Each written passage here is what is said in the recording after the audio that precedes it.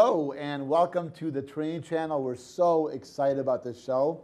This show is called How to Spice Up Your Prayer Life. And I have uh, Pastor Billy with us today, and he's new to the ministry, but not new to ministry. He's been preaching and teaching God's Word to many generations of age uh, for many years, right, Pastor Billy? And That's right. That's right. We've been going for about 12 years strong now, but awesome. excited to be here going 12 years and look like he looks like he's 13, right? So that's really why are you excited about this show on just the general topic of prayer? Because I know what prayer has done for my life. Um, truth be told, I wouldn't be where I am today, not just because of the prayers I've prayed, but because of the prayers that others have prayed for me. And so I get excited about prayer because I'm hungry and passionate to see God do incredible things, but I know they don't start anywhere else but in the foundations and in the secret place of prayer. So I get as fired up as can be when we start talking about prayer. Awesome. Amen. So the show is called, it's kind of a strange name, but it's called How to Spice Up Your Prayer Life. And I came up with that name years ago. Um, I'm the kind of person who does just not, some people love spicy food. For me, ketchup is too spicy. uh, my pastor's Italian, so don't tell him I said this, but I'd have spaghetti without spaghetti sauce. Like that's how anti-spice I've always been. I was going on my first mission trip to India. I've been there four times since.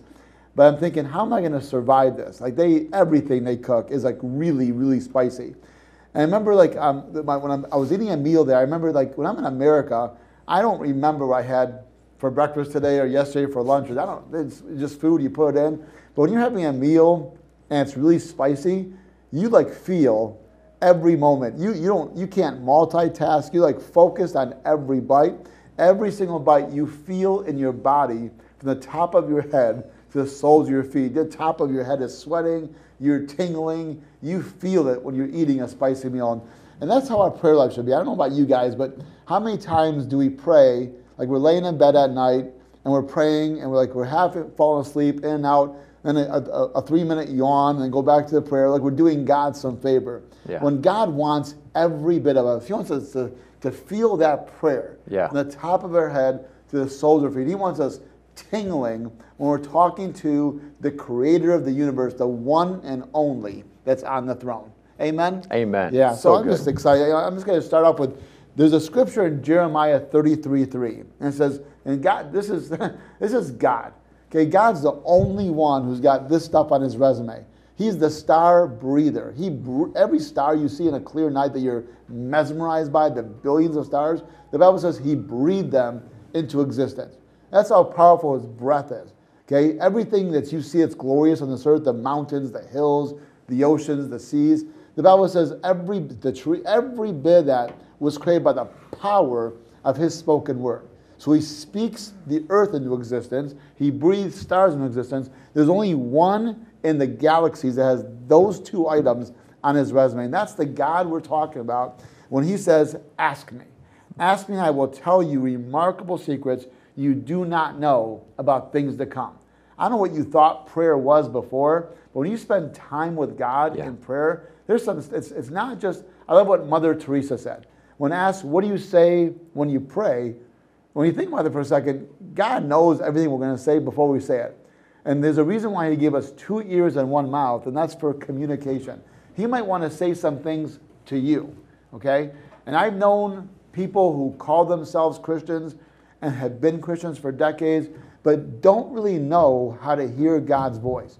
And there's no secret to it. You don't have to have a special antenna or HDMI connection. To hear God's voice, you just ask Him to speak to you yeah. You just get silent and you just focus and meditate on Him. And He's got that ever still soft voice. But when He speaks to you, it is so incredible and amazing. So Pastor true. Bill, your thoughts? So true, because there's nothing like just taking time to stop, focusing on what your feelings, your na- the natural says to focus on. When, when you stop focusing on what the natural says and you just say, Holy Spirit, God Almighty, I want to focus on what my spirit would say to this, you get a totally different response. So many people wonder, well, I'm, I'm going to church, well, I'm reading my Bible, I'm doing these things. Why aren't things happening for me? But the truth is because we're doing things, but we're not going to the one who created us and just saying, God, what do you want from me in this? And that's what prayer at its very basic foundation is, is Amen. it's waking up every single day and saying, God, I know what is on my agenda, but God, what is on your agenda today? And Lord, I want to say yes to you. And that's where the prayer comes into play. And as very basic foundation, prayer is just communication with God. It's a two-way communication. It's not a one-way. It's not a, it, we, we don't have a monologue with God. We are called to have a dialogue with God where we speak to, but we hear from. And when we truly are able to hear from God and speak His will in our life, just we have God moments happen in our life every single day. Praise God. Wonderful. You know, the, um, the most popular time in the world to pray is when something's going wrong. That's right. You know, there's people, you go to a hospital emergency room, and in there you'll find people, that sometimes they're praying, and what's so sad is maybe it's the first time in a year or 10 years or 20 or 30 years they've actually communicated God. It goes like, hey, God, if you're out there, I'm That's in a it. tough spot right now. Um, but I just want to let you know that um, when tough things happen, there's people who look for emergency service, police, fire, doctors, paramedics, and go ahead and do all those things. 100%. We're to be a steward of everything God's put before us. I'm not saying don't call the police guy, don't call the firefighters, don't call a doctor, don't go to a surgeon. I'm not saying not to do those things. Go and do those things.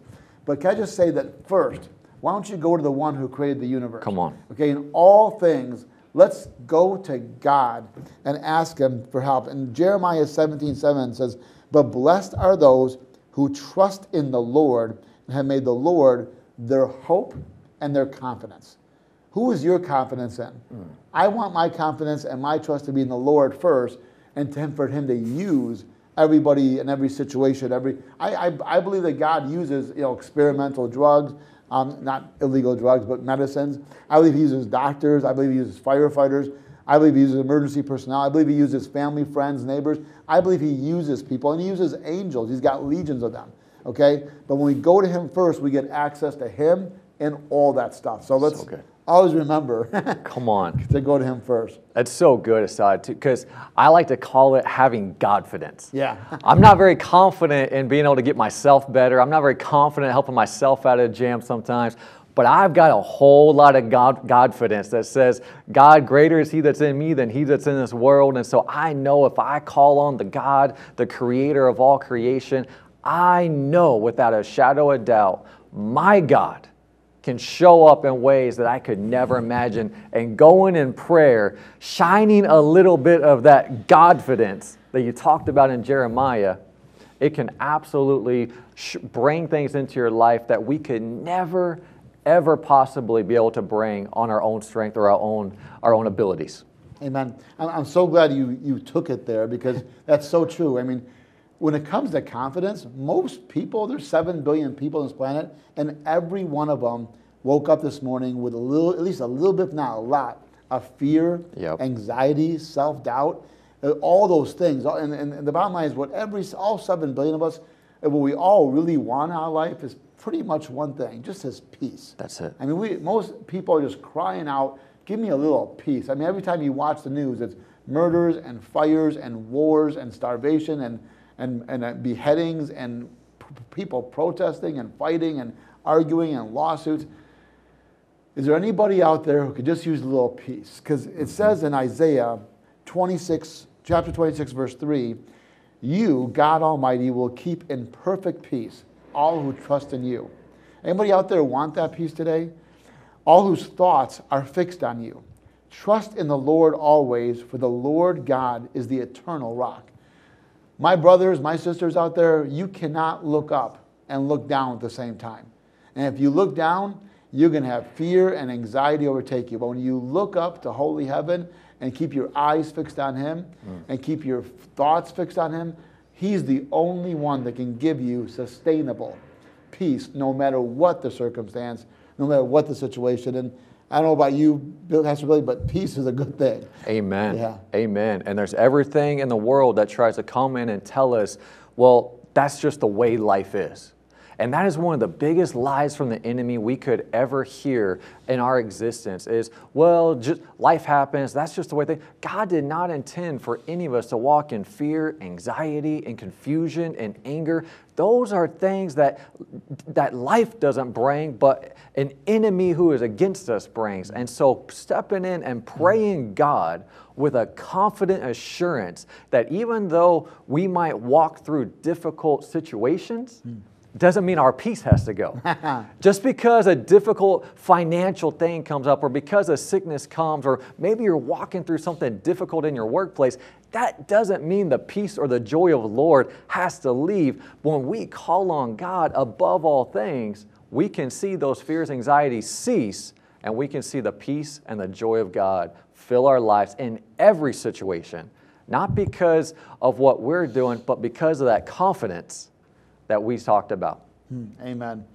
Um, you know, if little kids, um, no matter what the circumstance, they tend to throw out their favorite word, and their favorite word is why. And you tell them, and then, they say, why?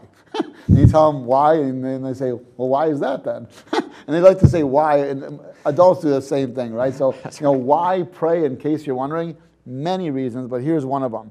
When you pray, it's like you're spending time with Jesus.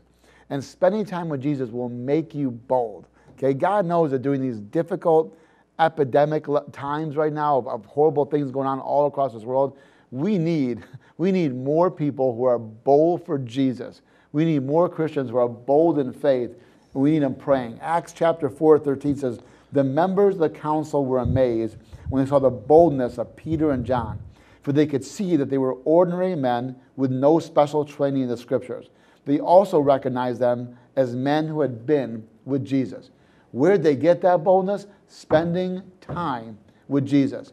Brothers and sisters, there's a lot I don't have going on. There's a lot you don't have going on, a lot of Pastor, but when you spend time with Jesus, okay, something will come on you, something will come in you that's going to make you bold enough to overcome any circumstance or situation. And I don't know about you, but timidity is not the Lord. Amen. Amen. And we just Amen. need to, there's only one way to get bold for Jesus, and that's to just spend some time with Him. Absolutely. Yeah. Absolutely. And so many times it's funny because we'll look at men who we say, man, they're bold. Like these men, like Peter and James and John, as apostles in the Bible, we'll see men even today walking and man, they're just so bold. I wish I could get that bold. And the funny part is, nine times out of 10, if you ask those men, how do you get so bold? They're going to tell you, I don't feel very bold.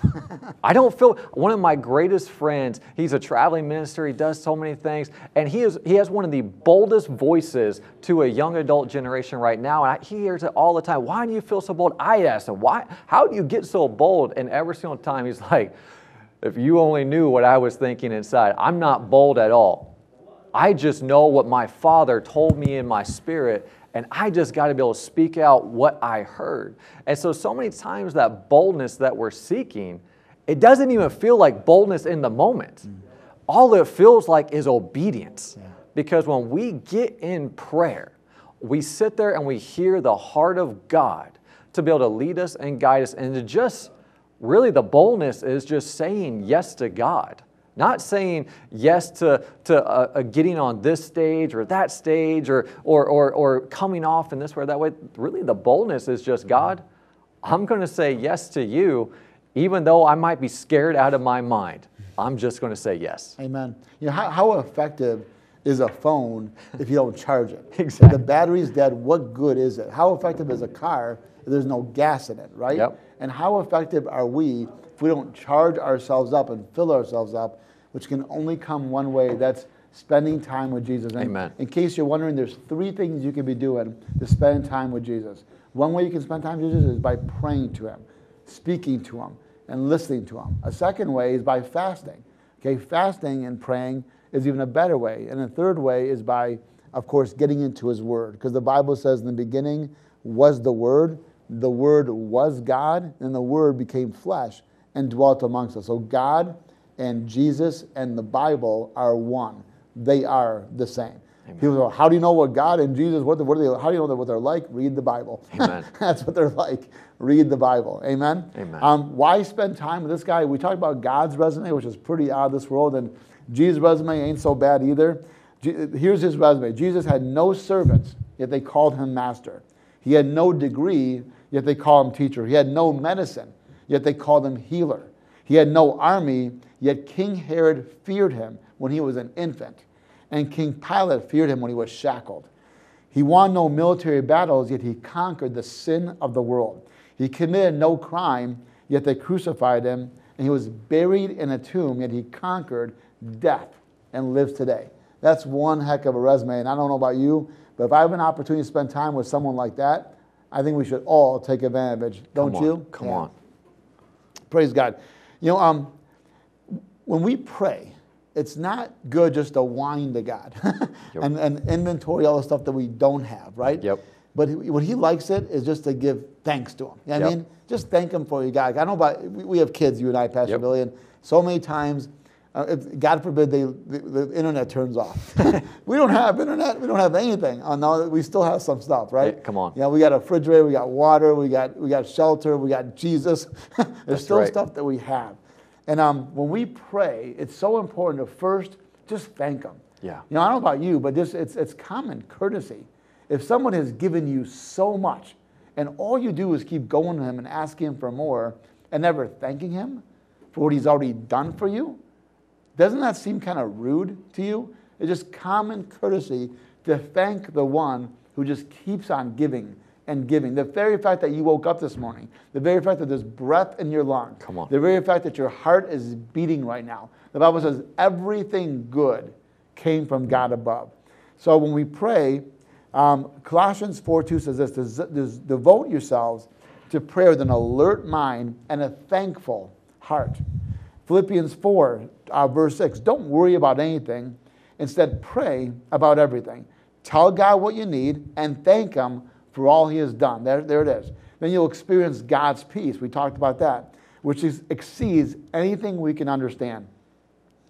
His peace will guard your hearts and minds as you live in Christ Jesus. And all I can tell you, it's, it's so obvious, Pastor Billy, when you see people who know Jesus and see Yeah. people who don't. Yep. I don't know how people, I, and I was one of them, and I tried to figure it out, and everything led to a dead end, right? Yep. I don't know how people can, I, I, at this point, now that I know Jesus, I'm afraid to take a step in any direction or live one more day without him. I couldn't imagine trying to cope with the, the issues in this world without knowing that he's on the throne. Amen? Absolutely, absolutely, because it's it's even what you're alluding to in those scriptures. The reason God is saying, "Hey, don't worry about about all these things." I mean, even he even goes on to say the. You know, you look at the birds of the air and the beasts of the field. I've taken care of every, every one of their needs. How much more will I take care of the needs of my sons and daughters? What is he saying? 95% of the things that we worry about are things that we really don't even have any control if it's going to happen or not happen in life. Mm-hmm. We're so worried about, well, what if this happens to my job or or what if this accident happens or what if this tragedy happens or or what if what if what if and truth is there's nothing that we have control if those things were happen. So why should we spend so much of our time worried about if those things are going to happen. I love it. You know, a great example of this is um, I remember as a kid so many times my dad every single month would come in and say, "Son, we got we got to really we got to really pinch our dollars because I'm not sure I might lose my job." And he would say that every single month for 8, 10, 12 years. Guess what?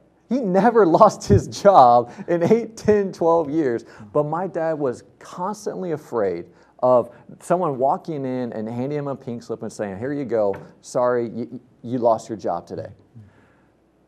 To the point where it would even it, it would stress him out, cause sickness, but he was worried about something he had no control over and frankly never even happened. Mm-hmm. So many of God's people do the exact same thing. Instead of waking up every single day and saying, you know what, I'm not going to be focused on what might happen. I'm going to be focused on what I've already seen God do. I'm going to thank Him. I'm going to praise Him. I'm going to lift up my arms because, man, God saved me. God gave me the house I'm living in. God gave me the food I'm going to eat for breakfast. God gave me the transportation. So here it's cold, so we're not having to walk to work and, you know, and be out there. Everything God's given us, we can give Him thanks, but it should be a confident assurance if God did it then, how much more is God in, in, or in line to do in the mm-hmm. future? And so that's where that peace comes in. And you're absolutely right. When that peace comes in, then I just wake up every day, not stress about what might happen. I'm only worried about one thing mm-hmm. Holy Spirit, come with me today. Mm-hmm. I don't care what's going to happen today because I can't control everything, but I can control one thing, and that's having the Holy Spirit come with me and be in my life every single day. And when I have that, it doesn't matter what comes at me because and through prayer, I know the Holy Spirit is there and I can get through any obstacle, any trial, in any circumstance as long as I have that presence of God. Praise God. Amen. You know, um, one thing that baffled me was actually in the Bible. I didn't know it was, and because I always thought to sin means to do something wrong. I never thought that not doing something was actually a sin. And believe it or not, sin is actually not even a spiritual word or a theological word. Sin is a term from archery. When you do archery and you aim for a, a little bullseye, if you miss the bullseye, the, the scorekeeper, the judge, will yell sin, because sin means to miss the mark. And according to God's word, I don't want to ever have an opinion that's from me. I'd rather go to his word for it. According to God's word, it is a sin not to pray. So 1 Samuel 12, 23, Samuel said these words, Moreover, as for me, far be it from me that I should sin against the Lord in ceasing to pray for you. F.B. Meyer said these words The great tragedy of life is not unanswered prayer, but unoffered prayer. You see, prayer changes things, and things don't change the way you want them to without the assistance of prayer. So, my question to you right now is if you're not praying for your marriage, who is? If you're not praying for your children, is anyone? So the bottom line is we need to stop missing the mark and we need to start spending more time in prayers. You know, so Pastor Bill, um, I don't know about you, but I, I feel like if there's not, I, I, talked to a guy once I respect a lot, and I asked him, you know, so how often do you pray? And his answer blew me away because I felt like he had such a relationship with God that I wanted. And he said, I have no idea how often I pray, but I try not to go 10 minutes without praying. Wow. Isn't that a good answer? Wow. Yeah. And um, I kind of equate it like this. So if, if, if you and I, we're very close friends, we are. So pretend I actually, we drove separate here, but pretend I picked you up at your home, okay? And I drove you here. I think it's about a 45 minute drive. And pretend I picked you up and you're my good friend, and I blared the radio and looked forward and never looked at you, acknowledged you, or said a word to you. Would that be rude? 100%. Yeah, and that's kind of what we do to God. He's ever so present. The Holy Spirit's ever so present. Christ lives in us. The Holy Spirit is our guide, is our teacher. And we don't pray, we don't communicate with them. It is rude. It's just downright rude. Absolutely. Yeah. It's even where so many people, it's where, where even in so many situations, young Christians are, are having a very ineffective Christian walk because we believe in God, we talk about God, but we don't really acknowledge God in our life. Mm. I, there's so many young people I talk to on an almost weekly basis, hmm. and they and their question always is, "Why can't I feel God? Why can't I recognize God?" And the honest answer is because you're not looking for God. Hmm. you're not looking for hmm. God. It's really hard to recognize or find something you don't. You're not really looking for, and the very foundation of looking and acknowledging God is centered in prayer. And so when we take time to say, "Hey, you know what? I'm driving right now. Holy Spirit, what do you want to do today? Hey, you know what? I'm waiting to go into my business meeting today. Holy Spirit, what would you like? Anything you want to say to me right now? How are you doing? How do you think this day is going? When we would just take time to acknowledge that in any and all places, wherever we're at, the Holy Spirit's there with us. It doesn't matter what we're doing, He's still with us. The question is, are we bringing Him along or is He coming along in spite of us? And so I have no doubt I have found in my life the Holy Spirit's ready to interact with us at any moment. The question is, are we looking to interact with Him? Amen. Amen. Do you ever feel as you're just living your life like that somehow you've been immer- submerged into a battle? You feel like there's like a, a, battle in your home. You feel like there's a some kind of inner turmoil, like a battle with your spouse, a battle for your children. That there's another side trying to cause damage. You feel like there's a battle uh, in a war for your finances? Do you feel like you're sometimes just you just woke up and you just want peace, but everywhere you look, there's like a battle to fight. You ever feel that way? The reason you feel that way is because we were born into a battle. Yeah. We need to pray like we are in a war every moment of our life because we are, okay? And by the way, it's important when we pray to know who our enemy is and who our enemy isn't, okay? So Ephesians 6:12 might shock you a little bit, but it tells you who your enemy is. For we are not fighting against flesh and blood enemies. So here's who your enemy is not. It is not your spouse. It's not your kids. It's not your neighbor. It's not your mother-in-law. It's not Visa. It's not MasterCard. It's not Citibank. Your enemy is not anybody or anything with flesh and blood. Your enemy, the Bible says, is against evil rulers and authorities of the unseen world, against mighty powers in this dark world, and against evil spirits in the heavenly places.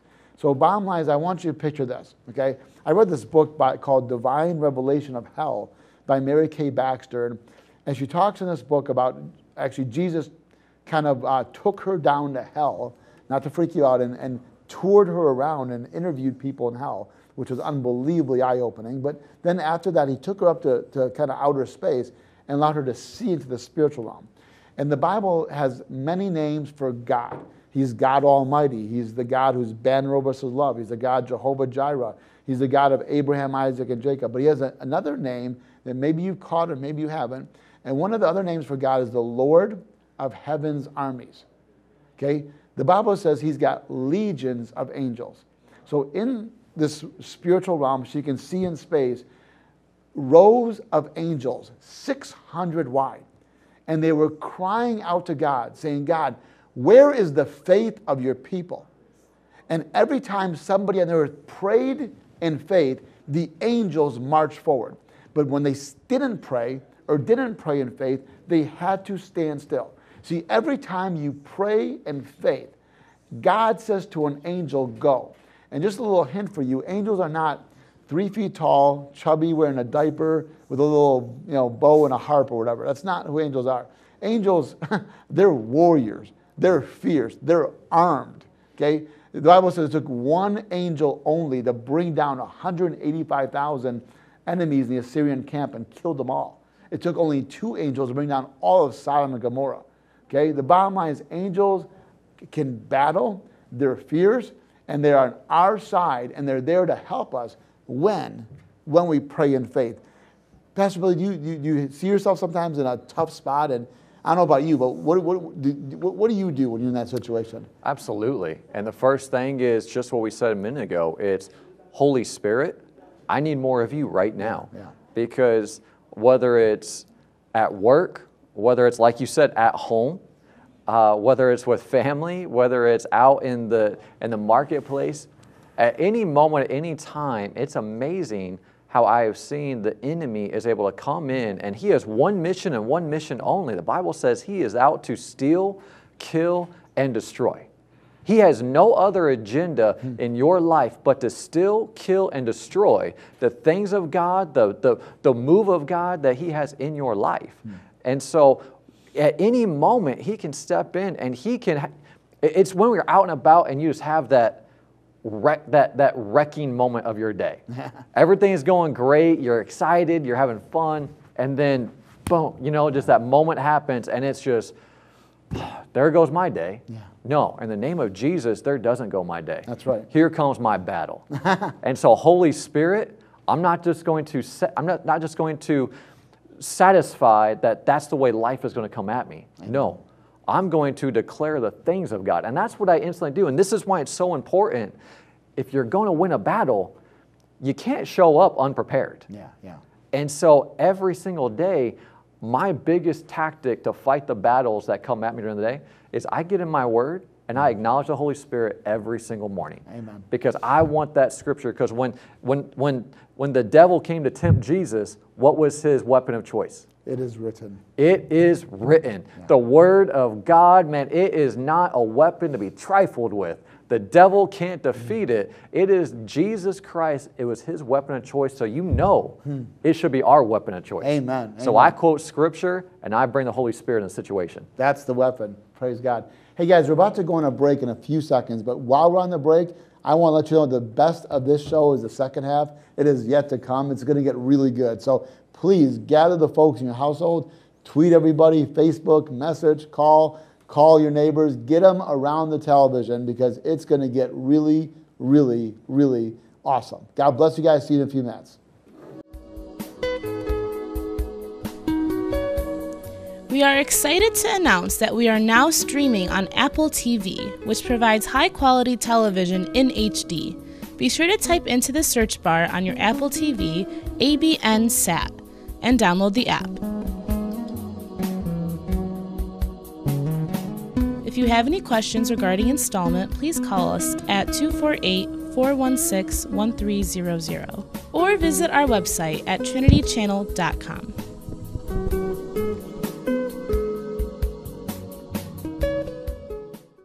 Welcome back. Awesome. Amen. So, um, around the world, this happens every now and then. It just happened in America where we had this election season. And um, during the election, the cam- I'm sorry, the campaigning, it was pretty out there. It was, um, it was pretty intense. People were saying vicious things to each other. And the bottom line is, my thoughts, my beliefs is you got when it comes to election, you, know, you got to pray for God's wisdom on who you vote for. Okay, but watch this for a second. My pet peeve is Christians, people who call themselves follower of Christ, once the election has happened and once God has put in the appointed person, they send out bashing information about that person. That is not what we're called to do. Actually, my question to you right now is why do you think we have corruption in governments all around the world, corruption in schools, corruption in politics, corruption in corporate America, corruption everywhere, corruption in our morals? Why do you think that is? There's a saying that when you point the finger to somebody, if you look carefully, there's always three fingers pointing back at you. Oh, so when the only, according to God's word, the reason that we have this, this issues in this world, and Pastor Billy just said it, is because us, the believers, have put down our spiritual sword and have stopped praying and stopped doing what you've always done, Absolutely. Pastor Billy. So Second Chronicles 7:14 says this: If my people, that's us, which are called by my name shall humble, which means get on your knees, humble themselves, and pray, which is like crying out to God, and seek my face and turn from their wicked ways, which that should be part of our, that, that's the part that God needs to help us with. Then they will hear from heaven. I will hear from heaven and will forgive their sin, and I will heal their land. I will heal their government, their schools, their corporate America, their corporate um, entities, their, their moral uh, culture. I will heal all that. Hallelujah. And that's kind of what we want. Amen? Amen. So 1 Timothy 2 2 says this Pray this way. This is another aspect of praying.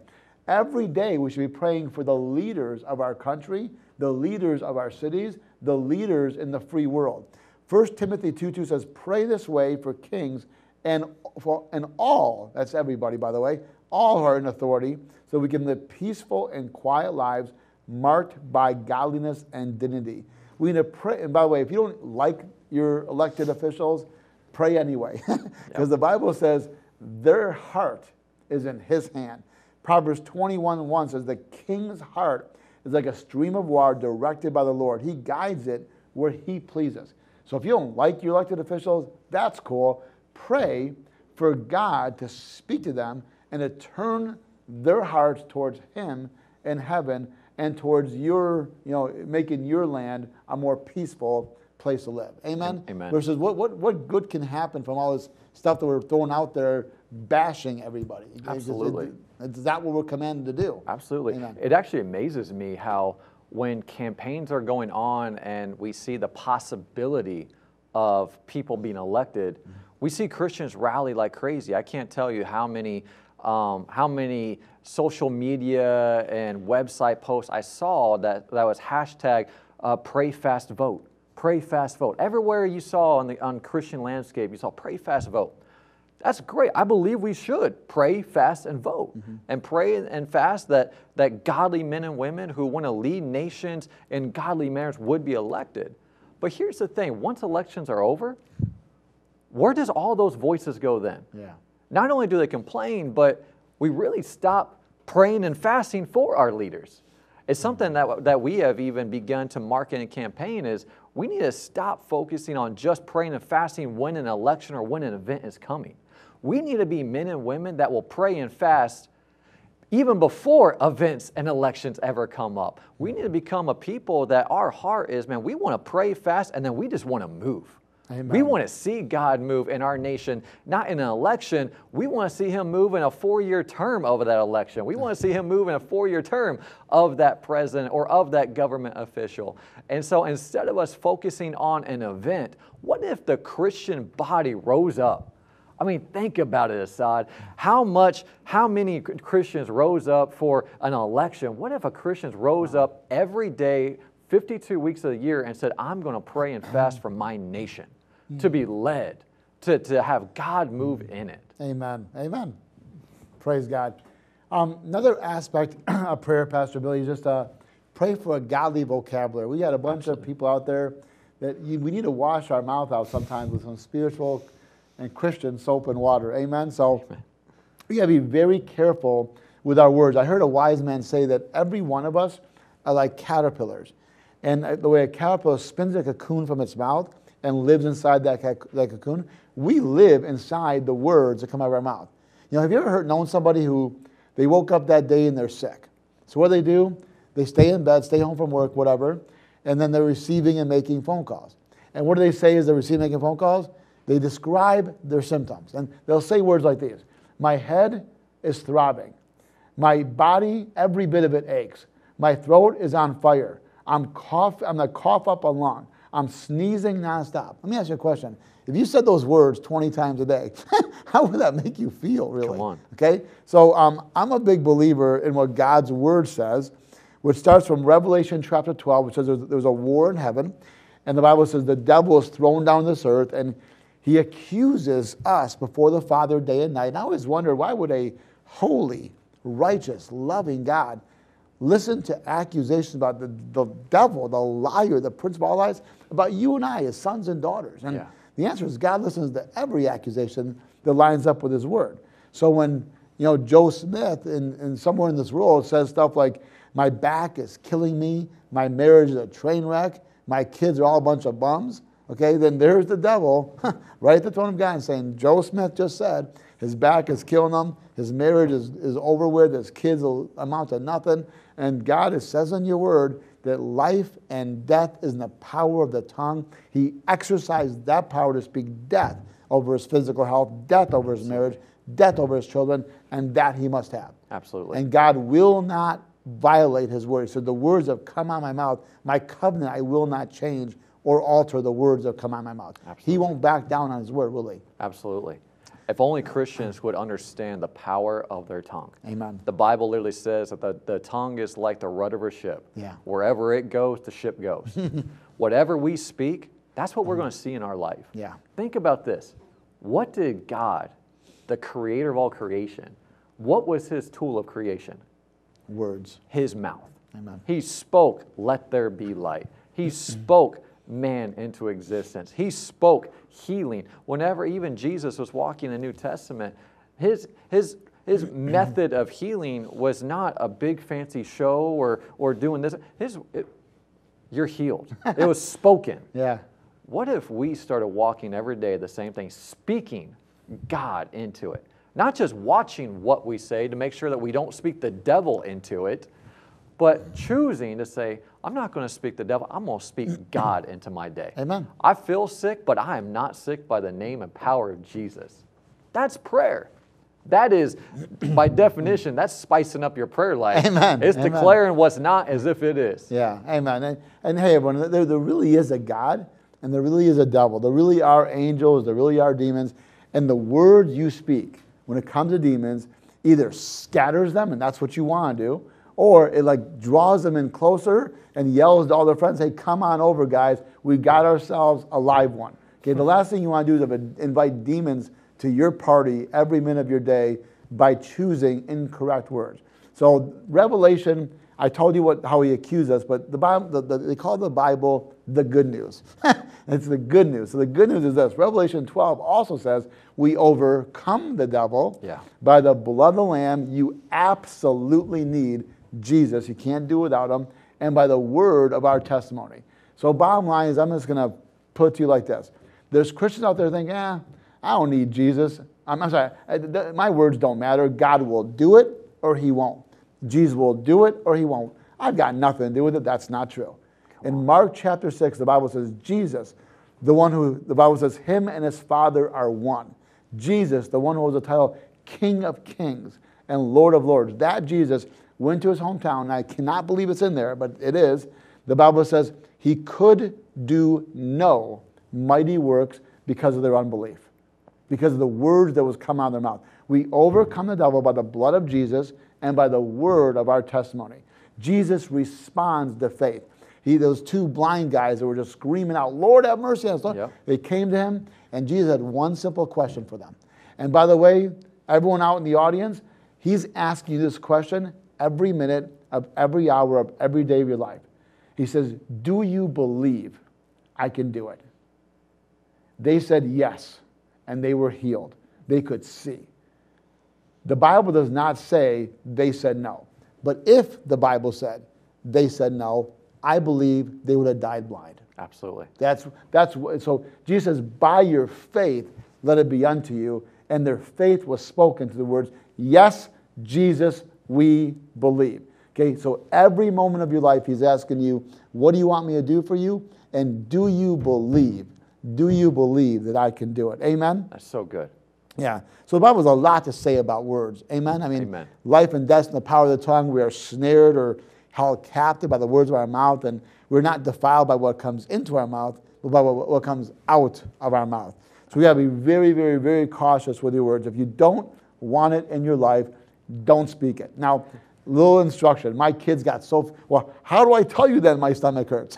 and the answer is you cover it in the name of Jesus. So Yeah. I've trained up my kids. If their stomach hurts, they would say, "I need Jesus to heal my stomach." Yeah. Because the devil cannot accuse you if you cover in the name of Jesus. he's right. powerless and he's declawed. Okay, and he's he's he's, he's shut up and right. kicked out when you cover your words. So you have a financial lack. I need Jesus to meet this financial need. Not I have a financial lack. You have a you have a hurt back. I'm believing for Jesus to hurt my back. Not my back is killing me. Amen. Just cover everything with the name of Jesus. Then you are accusation free, as far as I'm concerned. That's Amen. right. That's right. Because the thing that we have to remember so many times is even those diseases, those sicknesses, those infirmities, God's not the one who sent them into our lives. Yeah. Amen. God is the one who is looking at it saying, you speaking faith in me is not a matter of us giving God that, that little boost, that little, you know, cheerlead moment of, God, okay, you really can do it. God's like, no, I know I can do it. Your yes gives me permission to do it. Because God says in the Bible that He chooses to partner with man. He doesn't force Himself on man. And so even our yes, one, it's by speaking that way, we're not aligning with what the devil wants for us, which again is to steal, kill, and destroy. Hmm. By speaking in faith, okay, I might see this in my life, but that doesn't mean I have to settle for that in my life. So, God, I just, I know what you can do, so I'm going to speak that, and I'm going to let God have permission to come in and align my life, not with what the world or the devil wants, but with what God wants. Amen. Amen. One of my um, favorite lessons from God in His Word, actually from Jesus, on praying is from Luke 18, 1 through 8. As a matter of fact, when someone calls me and says, Hey, would you pray for me? My response a lot of times is go read Luke 18, 1 through 8, then call me back. um, and it tells a story about this um, persistent widow, and I'll just read it to you. It says, One day Jesus told his disciples a story to show that they should always pray and never give up. Remember, never give up. there was a judge in a certain city, he said, who neither feared God nor cared about people. A widow of that city came to him repeatedly, saying, Give me justice in this dispute with my enemy. The judge ignored her for a while, but finally he said to himself, I don't fear God or care about people, but this woman is driving me crazy. I'm going to see that she gets justice because she is wearing me out with her constant requests. Then the Lord said, Learn a lesson from this unjust judge. Even he rendered a just decision in the end. So don't you think God will surely give justice to his chosen people who cry out to him day and night? Will he keep putting them off? I tell you, he will grant them justice quickly. When the Son of Man returns, how many will he find on earth who have faith? And what the faith was, was that woman who just kept on coming at him, kept on coming at him. And the Bible says, who inherits the promise of God? I think it's Hebrews 6.12. It's those who have faith, and here's the part people miss endurance. Yep. Billy, Pastor Billy, how many people can have faith for like two whole minutes? Absolutely. Maybe a couple hours, so rarely for a whole day, a week, a month. How long did Abraham and Sarah have faith for? Right? Oh, come on. 40, 50 years or something like that? Absolutely. Their bodies were beyond dead and decrepit, and they still did not waver on the promise that God had made to him. And he's a, he's a promise keeper, and his promises are all answered yes and amen. Absolutely. Amen. Do you, have you had a situation in your life where you just kind of, it, it just, you kept believing, kept at it? Absolutely. Yeah. Um, it's actually one I've been celebrating this last year. Uh-huh. And but for about 11 years, a very close family member of ours was battling about 27 years have been battling just severe alcoholism. Wow. Um, I mean, not just not like a six pack a day, like a bottle a day. Wow. Um, just had, was ruining every relationship and just somebody we just really cared a lot about. And so um, I just we just started praying, and I just started praying for them every single day. And and this person, it wasn't that they were like a young pup. I mean, they this person was in their 50s, so they really became set in their ways. And pretty much everybody said, well, that's just that's just the way so and so is. That's just the way so and so is. That they're never going to mm-hmm. get better. And I just, I just refused to agree with that. Mm. And I just kept praying and praying and praying and praying. And, and that prayer went on for 11 years. No sign that anything would ever change. Guys, 11 years, I think there's 365 days in a year. That's over 4,000 days. 4,000 days. Go ahead, brother. Praying the same prayer. Wow. I was so excited. I was actually floored, mouth dropped. Last Christmas, last year, on Christmas Day, this family member calls me and I'm just wishing them a, a Merry Christmas. And they just out of the blue say, Hey, I need to tell you something. And I was like, Yeah, what's that? I haven't really told a lot of people, but I haven't had a drink in four weeks now. Wow. This was last Christmas. Wow. Now, here we are a year later. I just talked with them two weeks ago. They're over 14 months sober. Praise God. And not just did he get sober, he accepted Jesus Christ in his heart about April of this last year. Wow. 11 years of praying, finally saw it. Wow. And that, that's what's encouraging about that is even though so many people spoke wrong words, listen, you guys, it took one person to speak words of faith. It took one person to keep his eyes on Jesus, who's the repairer and the fixer of all things. He's the, he's the great physician. He's the one who can turn any circumstance around. Thank God for the prayers and the faith of one person. And my question for you are you going to be that one person in your family? Are you going to be that one person in your business or company if it's failing or struggling? Are you going to be that one person who's a shining light, shining bright for Jesus, communicating with Him with prayers of faith because He's the one who's able, more than able, to turn everything around? Amen. Amen. Amen. You know, I want to just uh, convict us a little bit more, if I may. This stuff kind of, some of it hurts when I read it, but um, again, some of us just don't make the time to pray. Um, in Luke chapter 6, verse 12, the Bible says these words One day, soon afterward, Jesus went up on a mountain to pray, and he prayed to God all night. Pastor Billy, I've never prayed to God all night. I, I couldn't stay awake all night. But if he's if he was there since the beginning, if everything since earth was created through him, if him and his father are one, and he need to pray all night, how much more do we oh. need to pray? you know? Absolutely. It's that relationship, right? Absolutely. I can't say that I can remember any time praying all night. I've made a few hours into a night, but it is amazing. I mean, even his disciples, at Jesus' most trying moment in life before, before he is arrested, he goes and he's having one of those late night prayers. Yeah. And you know it's late because while he's off praying, everyone else is going to sleep. It's like walking into the prayer meeting and everyone's starting to doze off, but that one person, they're still shouting and hollering. Well, here's Jesus. He's pressing and praying. Why? Because I don't I feel so many times when we look at Jesus, what he did, it wasn't that he needed to pray. It was he needed to show us to pray. That Jesus needed to show us when the most difficult situations in life come. How, how long will we really trust God with it Amen. before we start trying to make things happen on our own strength and on our own accord, by our own abilities? And so many times, the second we begin to pray to God, we want that instant microwave version answer to our prayer. Mm. But Jesus said, hey, sometimes it takes praying all night before you can even begin to feel that answer taking place. Amen. What if, what if we actually started not just praying, but what if we actually believed so much in our prayers that we just we prayed them and we just waited for them to happen? Amen. Amen. Praise God. Amen. Exactly. Convicting, isn't it? Exactly. Yeah. yeah. So. Yeah, I want to uh, just cover a couple more points before, and the show is going fast. But um, hey, guys, um, there's also Christians think it's between me, myself, and I. We got it covered. Okay. Uh-uh. There's people. You are not designed to be an island. You are not designed just to pray alone. It's me and God. I don't need anybody else's interference. That's not biblical. The Bible says instead, where one one can put a thousand demons to flight, two can put ten thousand the math behind that is when you and another person agree your faith together, okay, then the, the prayers are 10 times as powerful, if you will. Absolutely. You know, the bottom line is um, the Bible says, where two or more are gathered, there I am. And Jesus says, Father, my prayers, they be one like you and I are one. So Jesus, God, he had it all going on, but he didn't want to be alone either. He wanted Jesus. So he wanted someone to come in, in unity with him.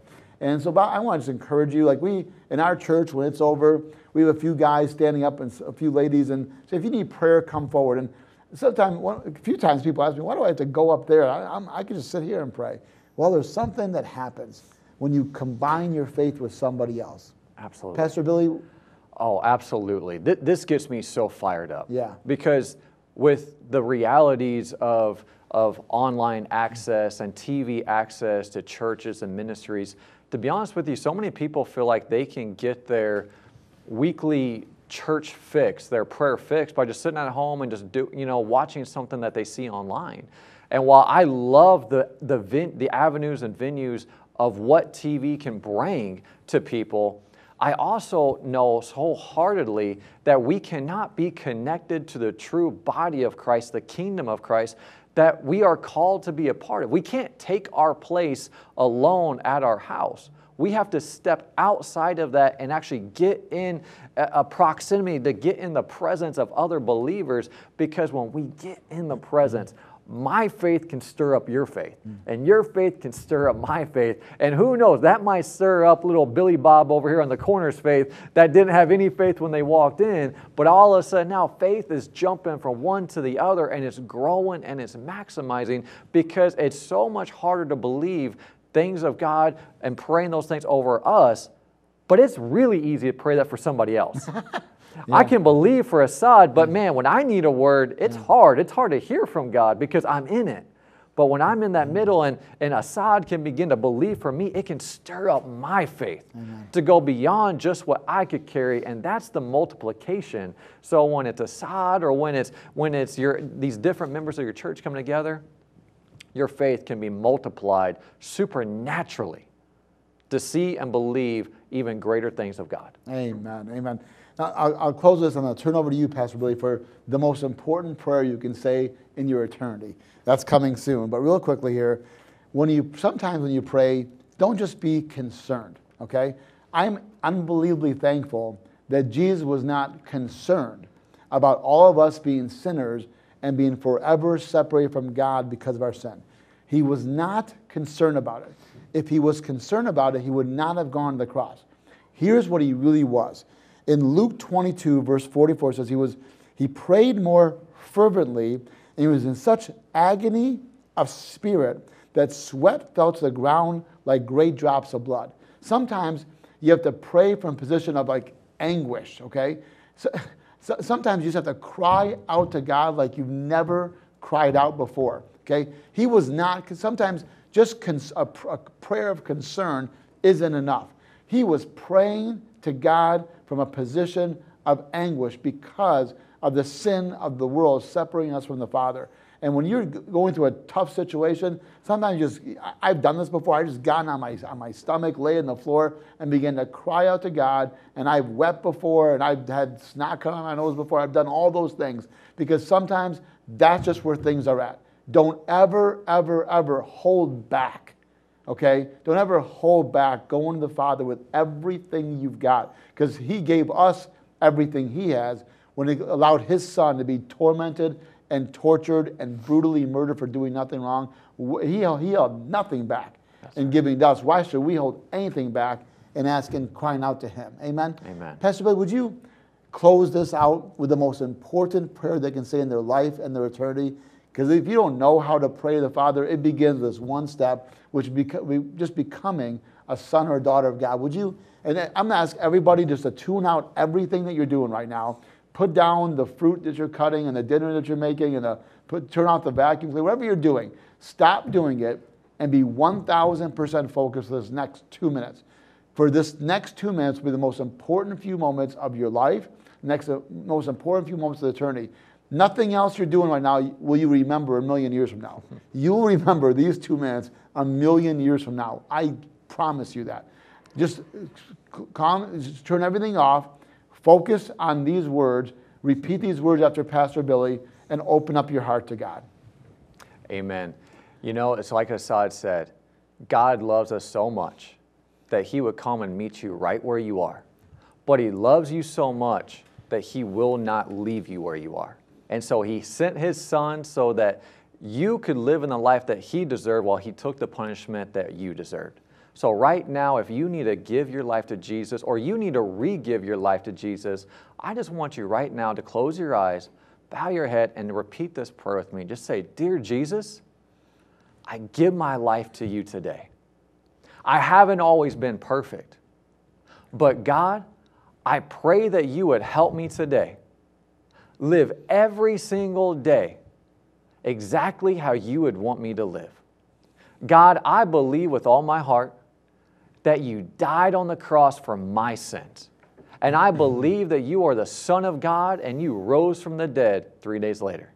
And so, God, I declare today that you are my Lord. Help me, Jesus, to live every day the best that I can for you. I give you my life, and I ask you to lead me, to guide me, and to protect me mm-hmm. From this day forward. In your name I pray. Amen. Amen. Amen. Amen. Amen. Amen. Wow. So I just want to encourage you out there. Um, this is not, you know, this was a cool show. I'll follow it back here. I'm done with it. No, this is this is a show that's supposed to cause you to think and reflect about your prayer life and ideally bring change into your prayer life. I just want to encourage you right now that God loves you. He's your father. He, the Bible calls him your Abba Father. The Bible says that you are now, and everyone listening, you're, in a, you're, you're, in, the, you're in the family of God. You are now an, an adopted son or daughter of God. He is your father, you are his child, and he desperately wants relationship with him, with you. But the Bible also says in James that if you, he, he is not, he's a gentleman. He will not force himself on you. If you draw near to him, he will draw near to you. Amen. And the way you draw near to him is your prayer life. Can I just challenge you to set aside a certain amount of time per day and some part of the day and just spend some time with him, read his word, put on some good Christian music, and pray to him. And also, don't forget this one part listen. Sometimes just kind of sit quiet, close your eyes, and say, God, I'm here. Anything you want to say to me, I want all of you.